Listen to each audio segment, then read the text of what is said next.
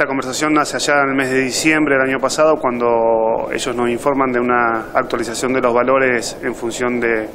de la inflación que estaba teniendo el país. En el mes de enero empezamos a tener reuniones con el LALSEC y los representantes, entre ellos Adela, eh, Adela Carnero y el doctor Osores. Este, no hubo un acuerdo efectivo porque entendíamos que los valores hoy el PAN no lo podía afrontar. Tal es así que avanzaron las negociaciones, eh, hubieron propuestas, contrapropuestas, en el medio hubo una situación complicada para con los afiliados porque tenían que pagar la diferencia de lo que pagaba el o reconocía el IPAUS y lo que pretendía el LALSEC. Pero bueno, la negociación tuvo un punto culmine donde nos juntamos y nos reunimos y empezamos a ver qué es lo que queríamos cada una de nuestras instituciones. Entendíamos la situación real del país cuando los medicamentos, los insumos importados habían acrecentado sus costos en más de un 150%. Así que el día de ayer se firmó un acta con la empresa donde obviamente los valores que ellos pretendían bajaron, eh, con lo que nosotros obviamente entendíamos que era un esfuerzo de parte del prestador, más allá cuando inclusive habían firmado los mismos valores con el hospital público.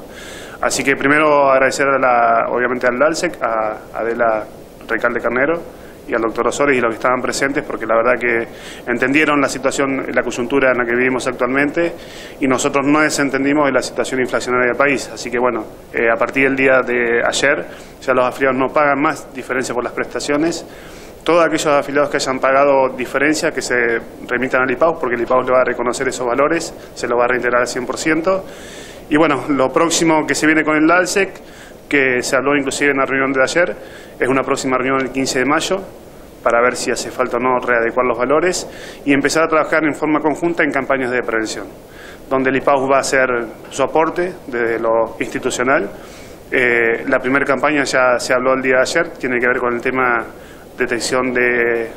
cáncer de colon, así que la primera campaña que estimamos que va a ser para el mes de mayo la vamos a hacer de manera conjunta, obviamente ellos como organizadores y nosotros como eh, aportantes de alguna que otra cuestión que podamos llegar a apoyar. Y entendemos que esto es lo ideal del IPAUS y es lo ideal del DALSEC, trabajar coordinadamente en algunas cuestiones de fondo como, como esto, digo, que hace bien a la sociedad y de, la detección temprana de algún tipo de patología ayuda obviamente a una prevención y a un mejor eh, tratamiento, ¿no es cierto? Así que bueno, agradecidos por eso.